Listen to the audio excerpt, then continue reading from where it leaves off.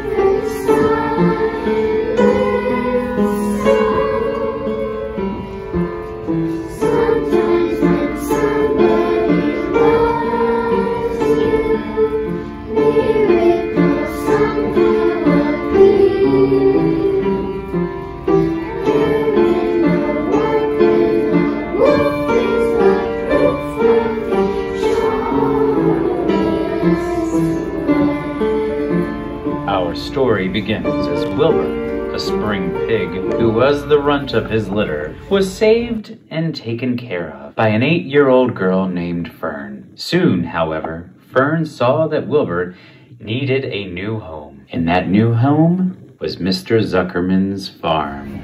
All finished, Mr. Zuckerman. Well, here's your new border. Fern, honey, I just opened a big can of peaches. You come in and have a dish with us. Okay, thanks. Let me stay with Wilbur, just for a little bit, till he gets used to his new surroundings. Wilbur, and I come and visit you almost every day. And I better go. See you tomorrow. It's a very large barn and old, I'll. I like the smell. Hay and manure, horses and cows. It has a peaceful smell, as though nothing bad could happen ever again in the world. Fern was right. It is very nice here. Hello, hello, hello. Who, who are you? The goose. Oh, hi, Goose. And this is my friend, the gander, gander, gander. But I only see one gander. You introduced me to three. No, no, no. We tend to repeat, repeat, repeat ourselves. Do you have a name besides pig? Yes, they call me Wilbur. Wilbur, that's a pretty tacky name if you ask me. Well, nobody, nobody, nobody asked you. Templeton the rat. In person, or should I say in a rodent? Well, I will admit, it's nice to have a pig around the place, gun.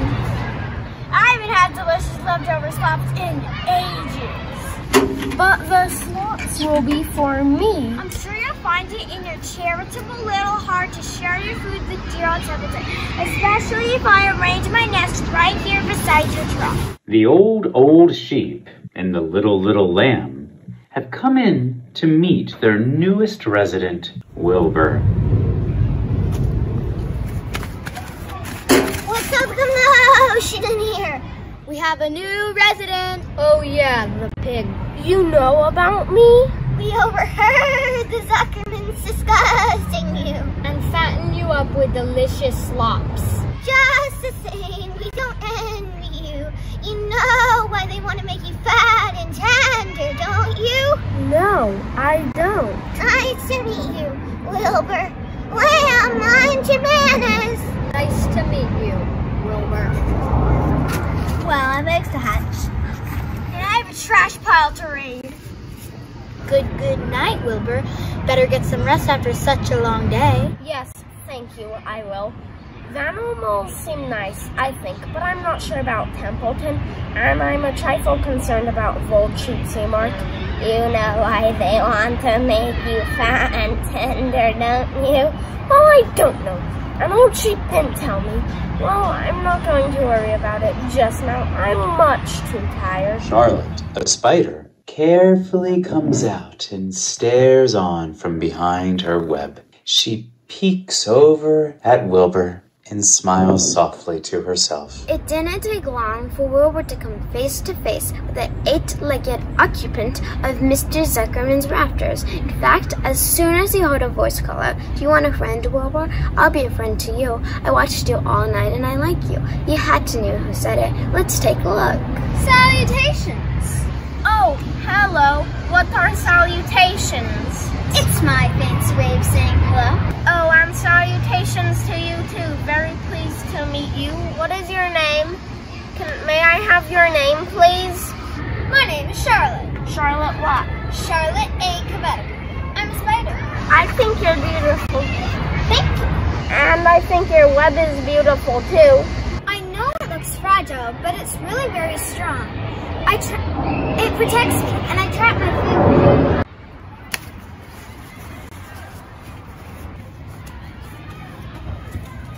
I'm so happy you'll be my friend. In fact, it restores my appetite.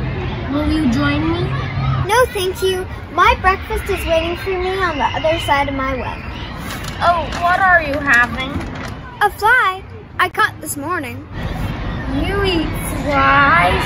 And bugs. Actually, I drink their blood. That's the way I'm made. I can't help it. Anyway, if I didn't catch insects and eat them, there would be so many, they'd destroy the earth. Wipe out everything. Really? I wouldn't want that to happen. Now, if you'll excuse me, I'm going to have my breakfast.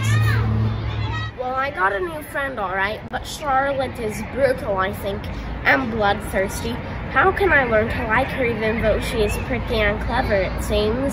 Wilbur did learn to like Charlotte. and back their friendship grew quickly. Soon, however, Wilbur became depressed. You see, he learned what the other barnyard animals were hiding from him. He learned the secret behind why Mr. Zuckerman wanted to fatten him up. I don't know what's gonna happen. It's gonna need a miracle.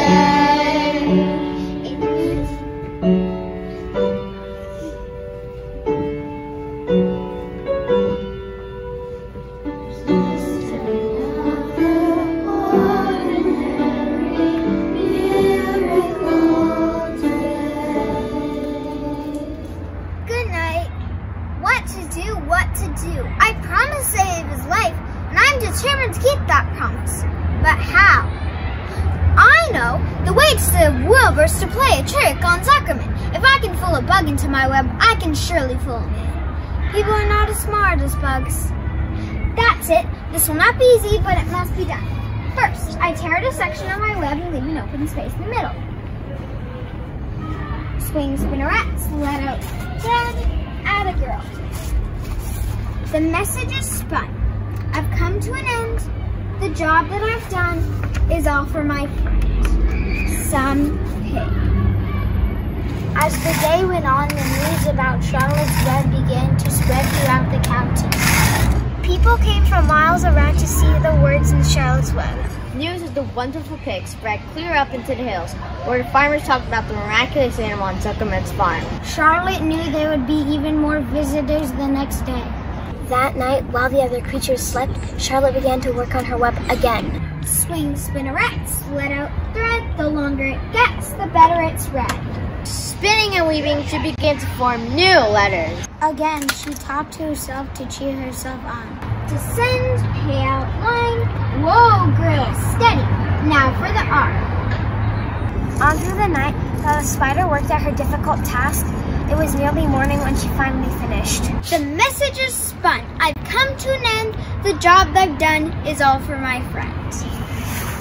She then ate a small bug she was saving, and after that, She fell asleep. Make room for the photographer and the reporter from the Weekly Chronicle.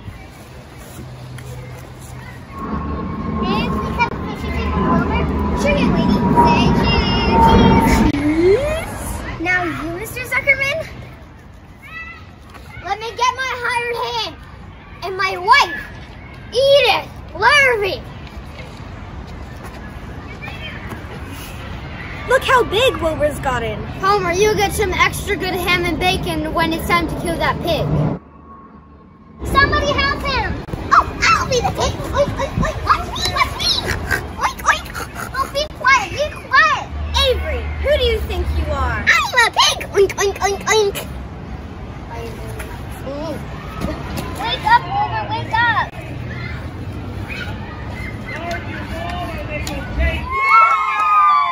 Well, that just like it says in the web. But Mr. Zuckerman, that's not what it says in the web. Glory be! We're so busy chattering we didn't even notice yet there's another word in the web. Radiant. Radiant. Radiant. Well, sir, that does it. I have an announcement to make that you can print in the newspaper. If I'm gonna enter the pig in the county fair, and if he can win the blue ribbon, I guarantee we'll never make bacon and ham out of him. Come on, everybody, let's go to the kitchen and celebrate with some fresh apple strudel and iced tea. Sounds good, Edith. Charlotte, you did it. Thank you, thank you. Well, we got you to the fair, but now you have to win it. will you come with me to the fair, Charlotte, please? I'm not sure. I'm just not sure. Now, may I ask everyone to kindly leave? This day has been very exhausting, and I must get some rest. Of course, Charlotte. Come on, lamb. Me, me, me too. Ditto, ditto, ditto. I'm suddenly very tired. I know I won't be able to help Wilbur much longer, but I and I have to lay my eggs here. But I want to lay them here in the barn where it's warm and safe. But I'll take a chance. I will go the People will be expecting to see a word in the web, and it may help him win the blue ribbon.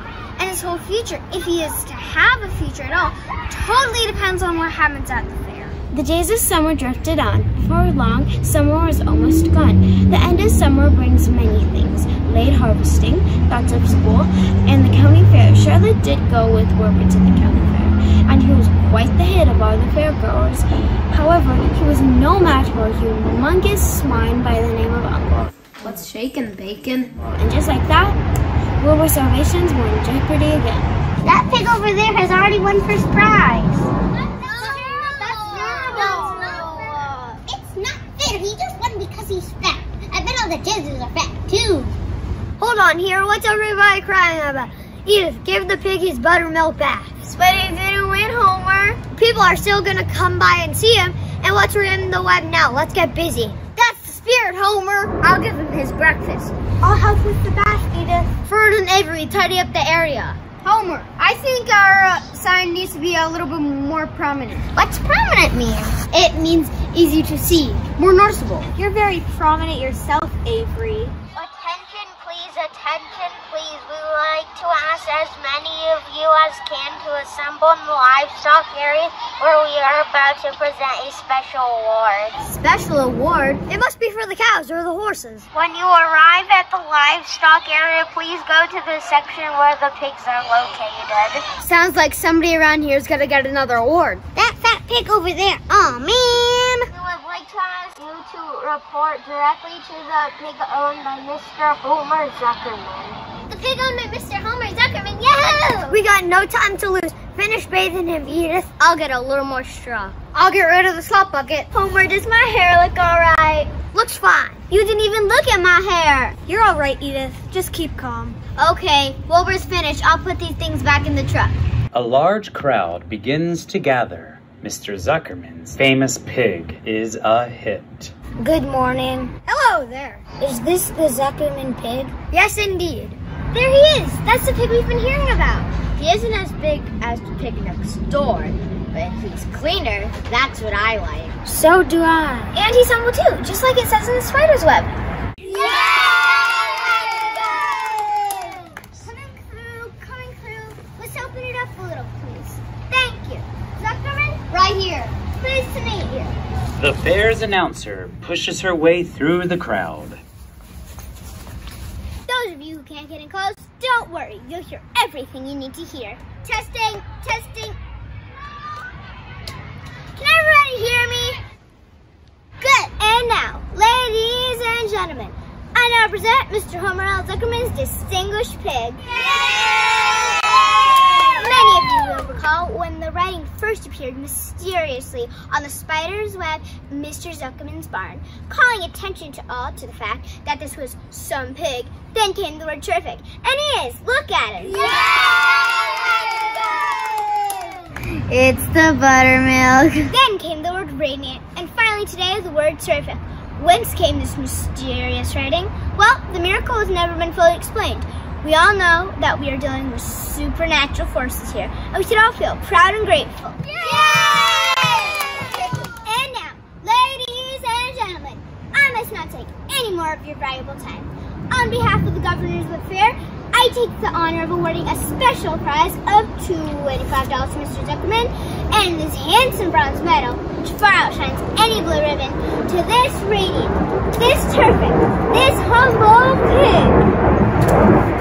What's wrong? What's wrong with your pig? He's fine. He gets these spells. He's modest and can't stand the praise. Well, we can't give a prize to a dead pig. It's never been done. Ow!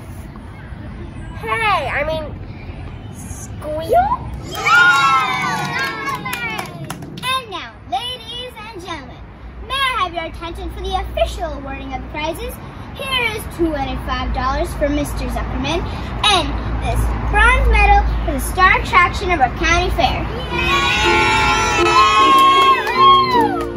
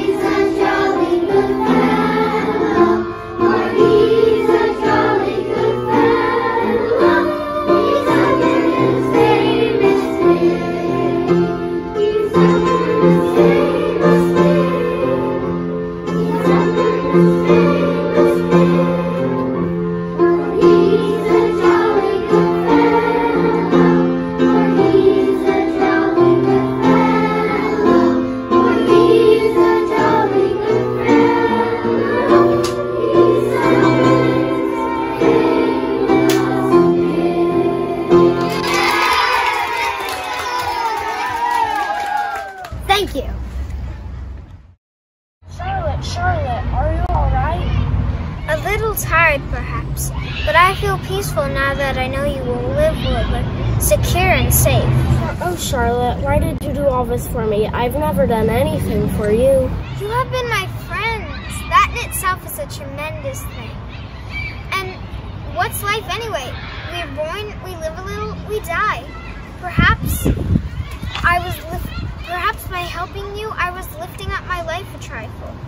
Heaven knows, anyone's life can stand a little of that. You have saved my life, Charlotte, and I would gladly give my life for you. I really would. I'm sure you would. Charlotte, won't it be wonderful to be back in the barn again? I'll not be going back to the barn. Not going back? What are you talking about? I'm done for. In a day or two, I'll be dead. Charlotte, I'm so tired, I can't even curl up to my egg Charlotte, my friend. Come on now, Wilbur, let's not make a scene. I won't leave you alone to die. I shall stay king. They won't let you. Besides, even if you did stay, there'd be no one to feed you. The fairgrounds will soon be empty and deserted. Wait a minute, I have an idea. Templeton, Templeton, wake up, pay attention. Can't a rat catch a wink asleep? Listen to me, Charlotte is very ill. She won't be coming home with us. I must take her egg sack with me. I can't reach it, and I can't climb. Please, please, Templeton, climb up and get the egg sack. What do you think I am anyways? A rat will work? Hurry, then I'll be back soon, Templeton. I will make you a promise. Get Charlotte's egg sack for me, and from now on I will let you eat first when Lurvy slots me. You get first choice of everything in the trough. You mean that? I promise. I cross my heart. All right, it's a deal. Use extreme care. I don't want a single one of those eggs harmed. Charlotte, I will protect it with all my might. Thank you, Templeton. Now you better run to the truck and hide under the straw if you want to ride back home. You bet I'm going back home now that I get first choice of everything in the drop.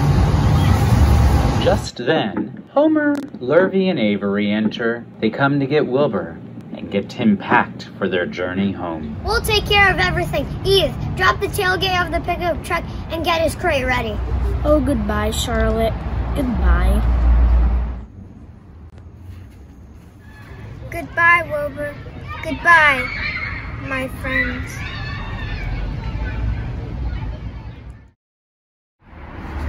The next day, as the Ferris wheel was being taken apart, there, the racehorses were being loaded into their vans, the entertainers were packing up their belongings and riding in the trailers, Charlotte died. Of the hundreds of people that visited the fair, no one knew that a gray spider had played the most important part of all. Wilbur kept his promise to Charlotte. He took care of her sack and her babies, or the ones that stayed at least. Wilbur dedicated his medal to his dear Charlotte, of whom he would never forget in his long-lived life. It's not often that someone comes along who's a good friend and a true writer. Charlotte was both. Thank you for listening and good night.